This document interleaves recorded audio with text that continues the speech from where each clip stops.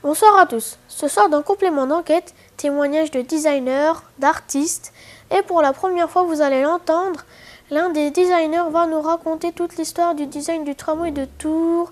Son témoignage est intéressant, on l'écoute tout de suite. Le design du tramway de Tours, c'est le thème de ce premier numéro de Complément d'enquête.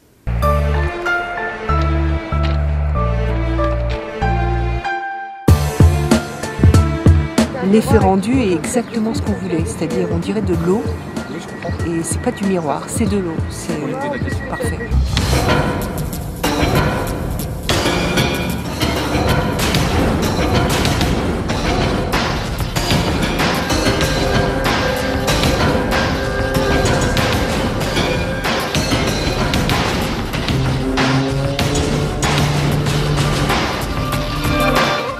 Voilà le designer que vous venez d'entendre, eh bien on va le retrouver, il va nous raconter tout ce qui se passe à l'agence RCP. On ira aussi voir un grand artiste qui a participé au design du tramway de Tours, Daniel Buren.